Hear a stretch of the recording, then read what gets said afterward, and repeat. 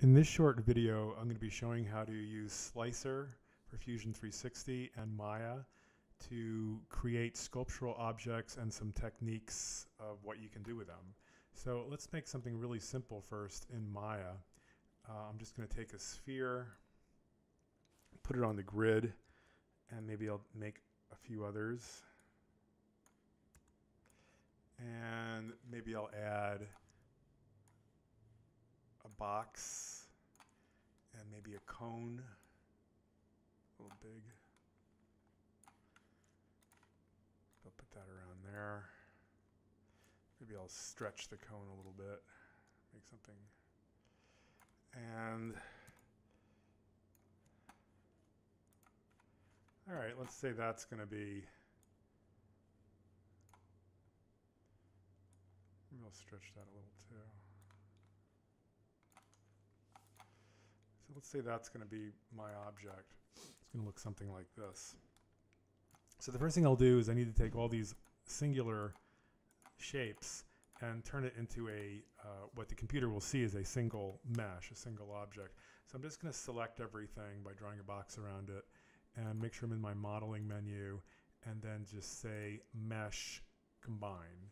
So even though they're not really a singular mesh, it's not like a continuous skin or anything like that, the computer will see it as one object. So there it is. And that's all I'm going to do. And so now I'm going to export this selection as an OBJ so that I can get it into Slicer. So I'll just call it something like um, sculpture. And put it in a folder. And I've exported this as a selection. Now I'm going to open up Slicer for Fusion 360. And I'm going to import the very same sculpture.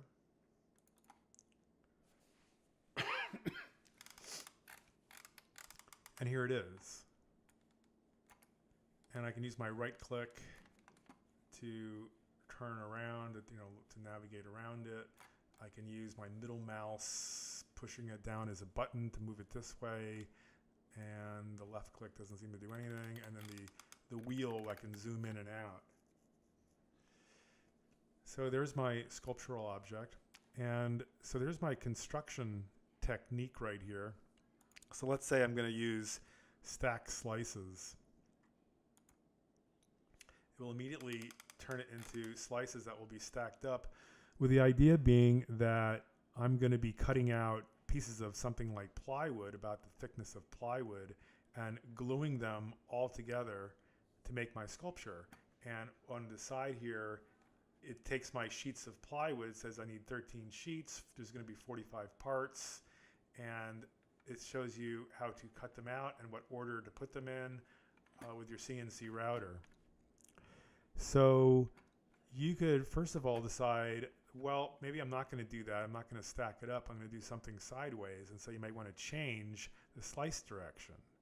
So I'm going to press the slice, slice direction button here. And now I'm going to use my right mouse to make it so I'm looking at it dead on from the side. And then I can click the ring right here, letting it know that I want to change how the slices are going to be by this little blue triangle. And as I move it this direction, I'm going to go until it says 90 degrees. And then that makes my slices exactly at a right angle to where they were before. So I can have a look at it and say, all right, that's pretty cool. But let's say I wanted my slices to go this direction, this up and down angle. Again, I'm going to kind of line this up. So I'm looking directly at it just by using the right mouse. And then I'm going to do the same thing where I'm going to take that triangle, the, the um, or the cone rather, this blue cone, and move it now in this direction until it says 90 degrees again. And then there, there I have it. That's, that's what I want for this particular one. And see, they're exactly straight up and down, and they go across the model. Anywhere you've got like this dark blue area is generally a problem. It's a model issue. You can look at the model issues, and I can say these are unconnected pieces in blue, so you can figure out what's going on with that. Uh, in this case, I'm not too concerned about that, these unconnected pieces. Um, so that's it for these stack slices. We can look at some other um, configurations later, but let's just worry about these stack slices for a while. And so I'm I could decide if I want to make these slices thicker or thinner by going to the manufacturer settings right here, the little gear. If I click that, it will then give me some settings here on the bottom, and I can change these. Um, so let's say I want to make the thickness of my slices to be thicker. Right now it's 0.1772. Let's say I make it 0.2. They come out a little thicker. If I make it 0.3, thicker still. Um, so maybe I'll make it 0.15. Uh, no, I don't like that. I think I'll make it 0.2. That look pretty good. Uh, yeah, all right. So that's for the purposes of what I'm going to do. I, I, I like that thickness of slice.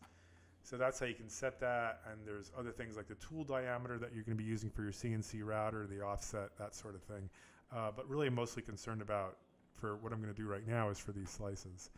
So now I'm going to save this as an OBJ, an object. So there's uh, on on the I click this little triangle right here next to the word slicer, and I can have you know new open and all that save save a copy.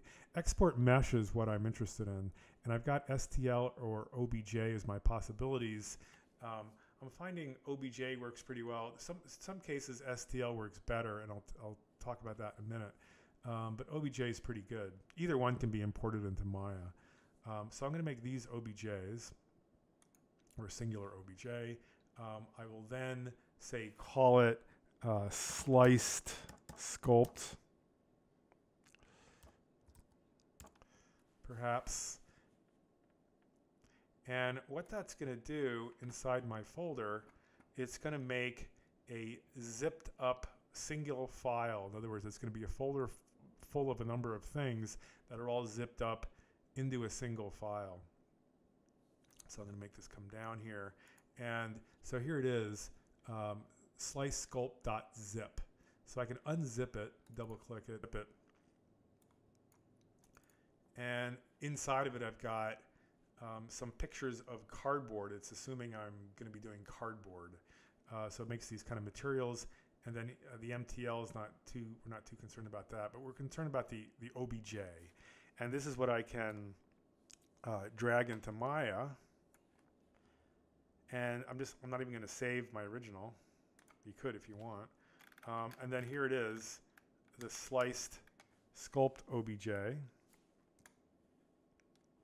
I click on it.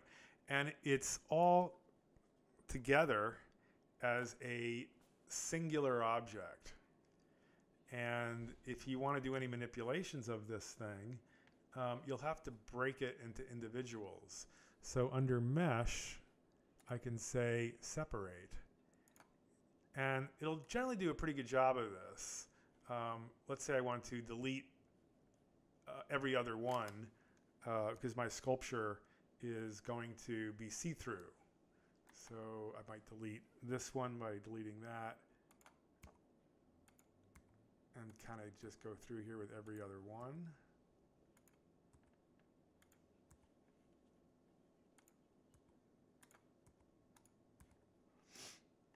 Example.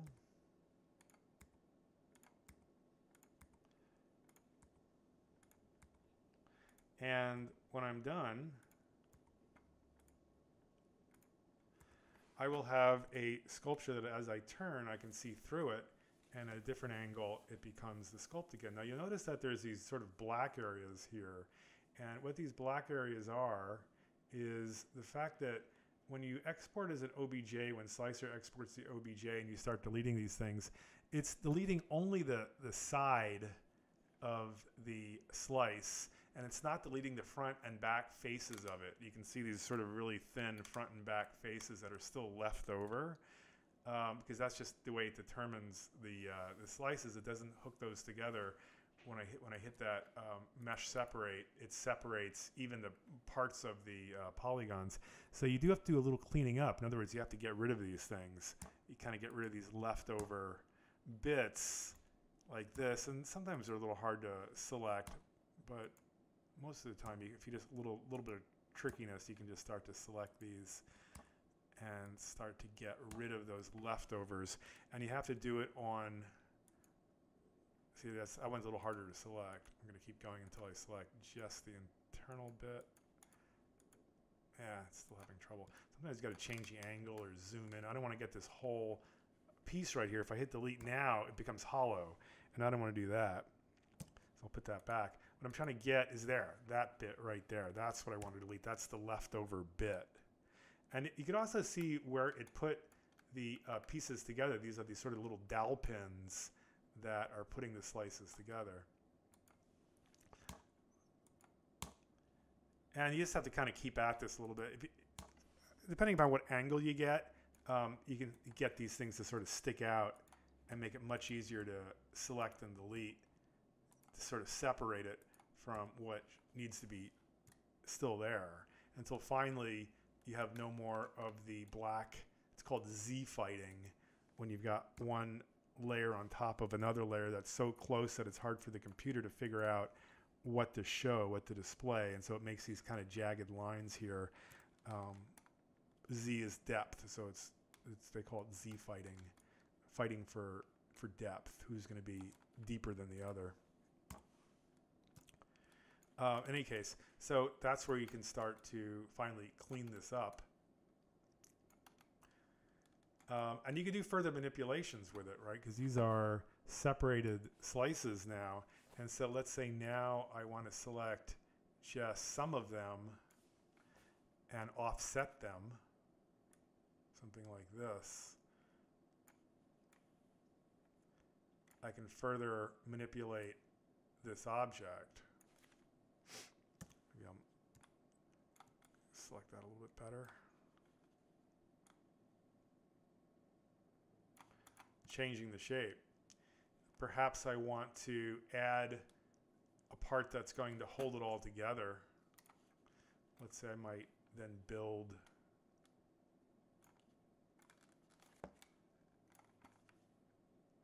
a sheet like this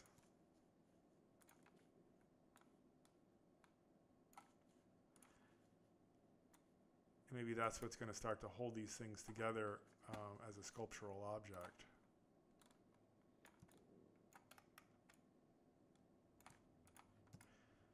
So let's say some, you know, that's that's that's my sculpture there. So I've got these layers that I might cut out of whatever material it's going to be. It might be metal, it might be wood, um, whatever it's going to be. And then I've got my object. Maybe I want to make a base for it. Let's say it's going to stand up like this.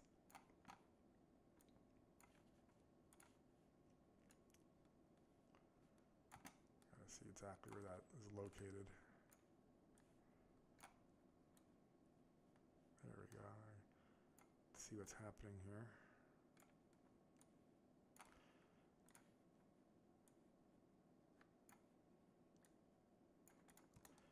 And there's my, my large outdoor sculpture you know, something like that. Um, okay, so let's go back to uh, Slicer now.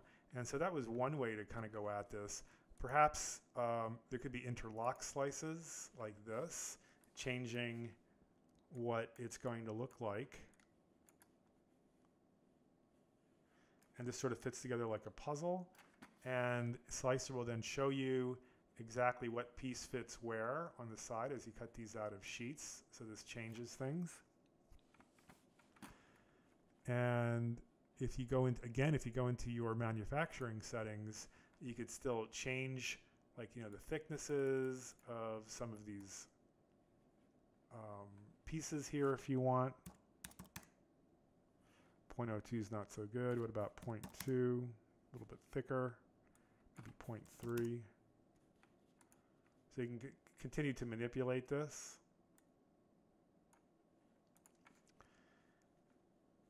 You can also talk, you know, talk about first axis, second axis, changing the number of pieces, like this.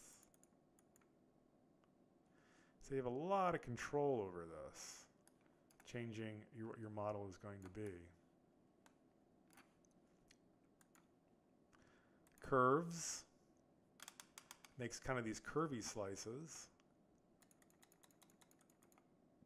I'm just playing with these numbers here.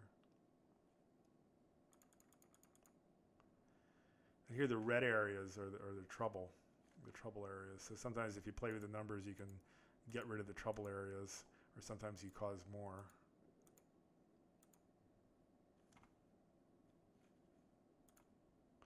Radial slices creates a axis in the very middle and then runs the slices around it. Folded, this is if you are taking a piece of paper and cutting it out and then putting folds in it and then turning it into like a folded puzzle. I got nothing but red here, so that's not good. So I've got a lot, a lot of issues with this particular fold. So I might take these vertices down a bit. Let's see if I can get rid of some of that red. No, it doesn't like it. So you really want to you really want everything to be blue. You can see the blue area here, number two, is fine. This red area, I, th I think it's because it's falling off uh, the piece of material, or perhaps it just won't fold well. And finally, 3D slices takes a little while to compute. Oh, that, wasn't too bad. It'll often take a lot longer to compute.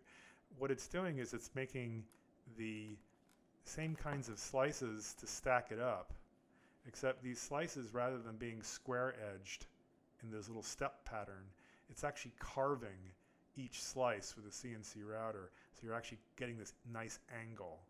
And that you can, uh, if you want to glue all your sheets together, would just take a little bit of sanding at the end to just kind of smooth these transitions just a tiny bit.